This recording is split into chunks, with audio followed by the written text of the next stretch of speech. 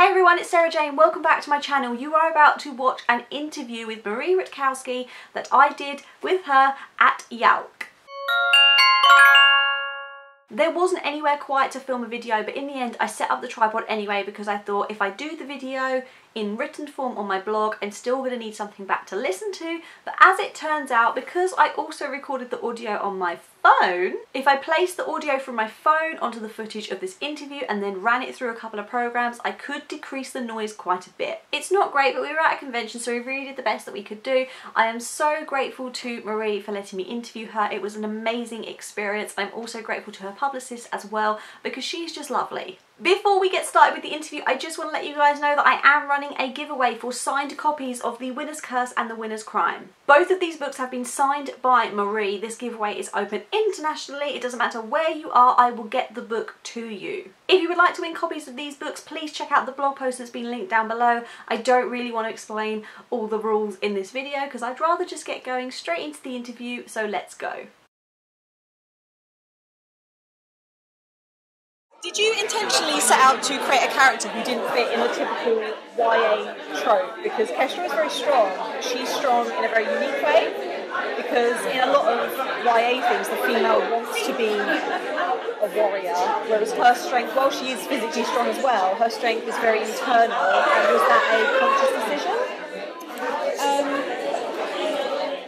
yes, actually, it was. Um, I love books where a girl becomes a warrior. Yeah. One of my favorite books is Graceling by Kristin Cashore. That's on my TBR. Well, it should be. It's a wonderful book. And uh, I, I love that uh, that Katniss is so strong physically and also finds her strength emotionally and intellectually as well.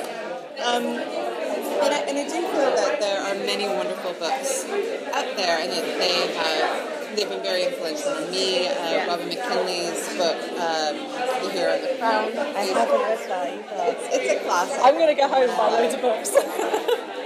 But I just I felt like there there wasn't I hadn't really found a book that really prioritized um, a woman's intellectual strength. yeah.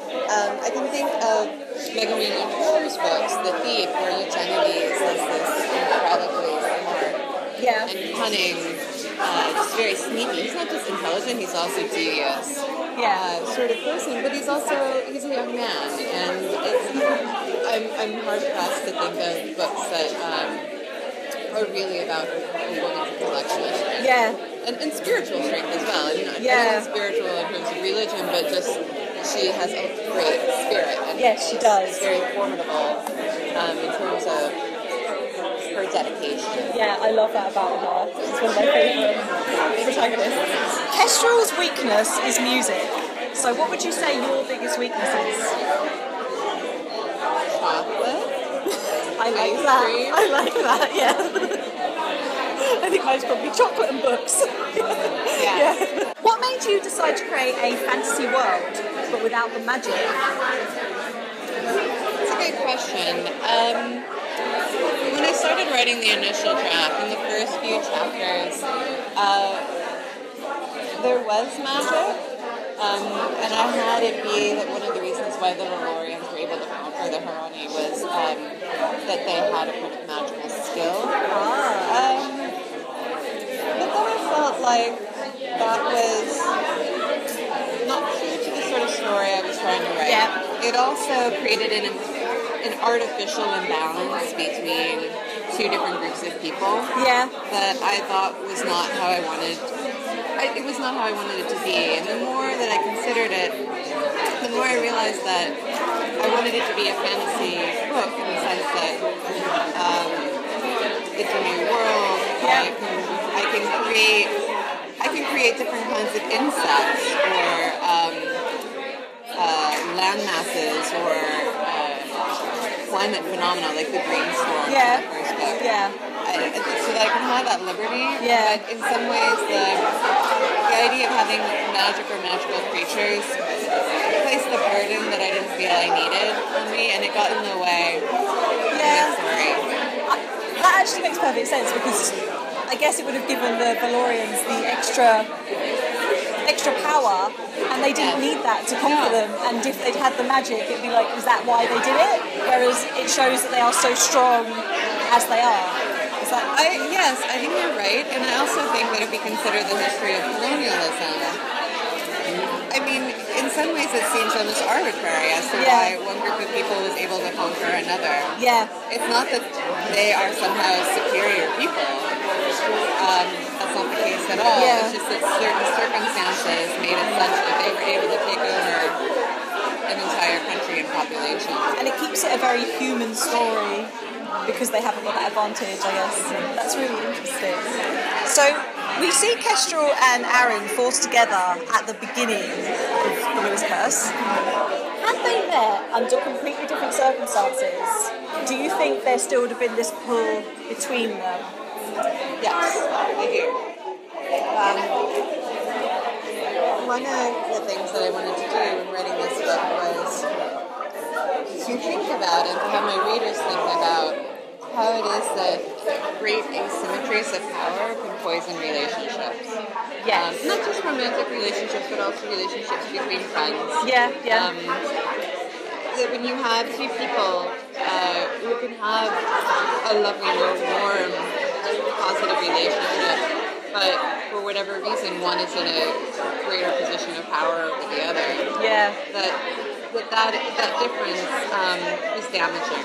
yeah, And so I've, I've always thought that um, the moment that we, the moment when Kestrel and Arin can fully be together, when the Yeah. relationship can work, when people can have their happily ever after, yeah, that we all desperately want. That for that to happen, they need to be on equal footing. yes. Um, and I do think that they are a perfect match for each I other. do. And it's really just circumstances that have made it such that uh, there are difficulties. Yeah, yeah, that's what I love about it. If we, if we got it too easy, then, you know, wouldn't, wouldn't ship them so hard, and I do ship them very hard. I love them together. I, Yeah, I, I think that I care about I care about my characters. yeah. It's because they're amazing characters. Everyone will agree. You said yesterday that the idea for the winner's curse came from the phrase "the winner's curse." I didn't know that before yesterday. That to me was really interesting because from what I've heard, quite often authors have working titles and then the publisher will want to change it for marketing purposes. How was it? What was it like to create a story from a title rather than create a story and then find a title? Was there any issues with publishing, like with the title that you had, or what was it like to create it having the title first? Uh, there were no issues regarding the title. Nobody ever asked me to change it. Um,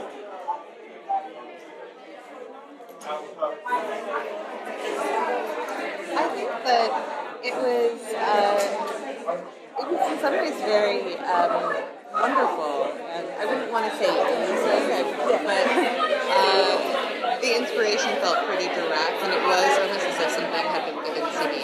yeah, Um, so I recommend it to would-be writers, Yeah. aspiring writers who are working on a project, to uh, be attentive and alive to special phrases. yes, Because I think you can figure out why they interest you, And you Yeah. might have a story.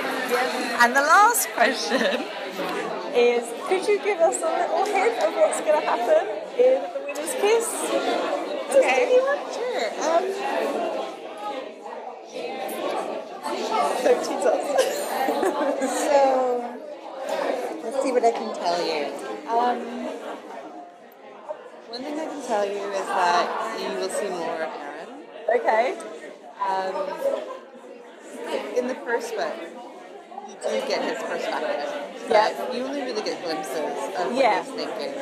Um, and it's deliberate that way. In part because I felt like Arin is so he's so angry and so bitter that he doesn't want to let anybody in and that Yep. includes the reader.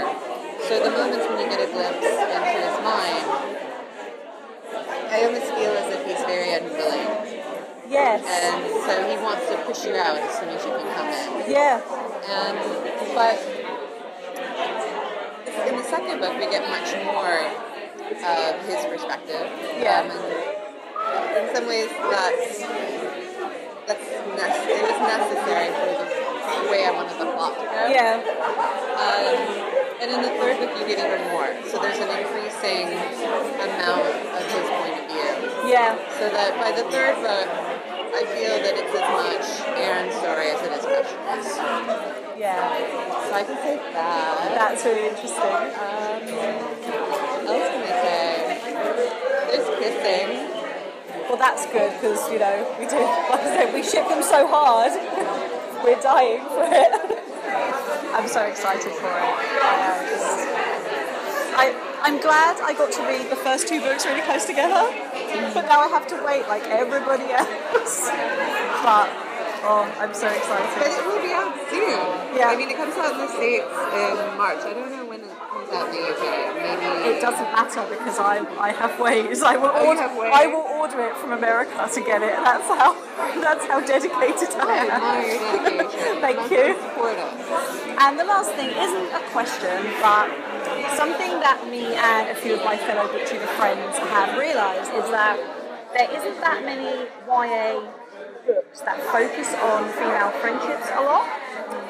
It's a lot of the time you have the girl meets the boy and maybe she'll like have a friendship come from that in his circle, but quite often the girl is quite isolated.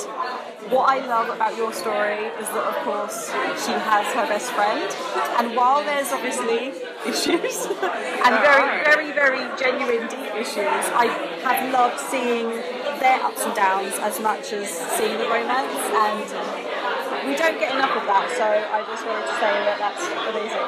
Well, thank you. And I, I mean, there are some wonderful. Um, let's see, I'm trying to think of Sarah Dessen's recent book, which is not fantasy. Yeah. Um, Saint Anything. Yes. I feel like the friendship in that book, to me, is even more potent Yeah. and wonderful than the romance. Yeah. Um, that's what makes the book for me, the, the relationship between Sydney and Layla. Yeah. Um, also, Bardugo's books. The Grisha. I know they're wonderful, and Yeah. they are they are so attentive to Yeah. female relationships in a way that I love. Uh, Renee Ahdieh's The Wrath and the Dawn. Um, there too, Yeah. you see really um, vibrant female friendships. Yep. Um, also, Sabaa Tahir's and the Burning Ashes. That's also on my TBR. you will enjoy and I I think think, I you'll enjoy uh, the relationship that Yeah. um, that one of the main characters. Oh, really? That's exciting. Okay, guys, so I hope you enjoyed that. I had an amazing time. Thank you so much for doing this video. you. Thank you. It all made my day. And if you like it, please give it a thumbs up because I think, you know, we deserve a thumbs up. And I will see you all next time. Bye! Isn't it awesome? I'm still kind of in shock that it happened, to be honest. You guys know me, you've known me for like, what, a year now. You know that I have anxiety and I actually said to Marie that I'm really pleased that I did it because I have anxiety and she was quite surprised and she was like, you don't, you don't seem like you have anxiety. And it was true because I wasn't anxious when I interviewed her at all. In that moment, I wasn't anxious. I guess because I'd met her the day before and she'd been so lovely, I just felt really, really relaxed about the whole thing. And it was just an amazing experience. I feel so proud of myself that I managed to do it. And it just makes me really, really happy because it was such a wonderful opportunity. Thank you so much for watching this video. If you liked it, please give it a thumbs up and I will see you next time. Bye! Also, don't forget to check out the giveaway.